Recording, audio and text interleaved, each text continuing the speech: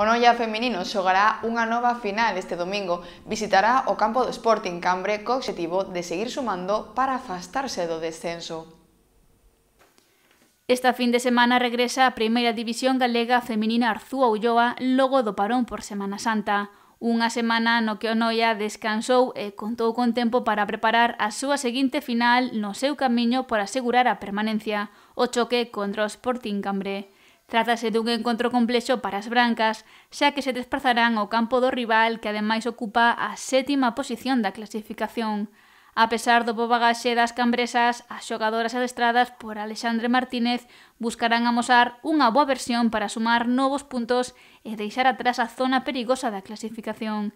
Na derradeira xornada disputada, a 25, o Noia superou con solvencia o Antas por un claro 6 a 1, vitoria que se sumou a anterior firmada ante o Mos B.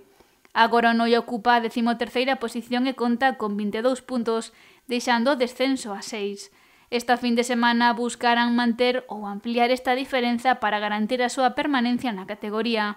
Para iso terán que medirse ao Sporting Cambre nun encontro que terá lugar o domingo ás 4 da tarde no Estadio Dani Mayo.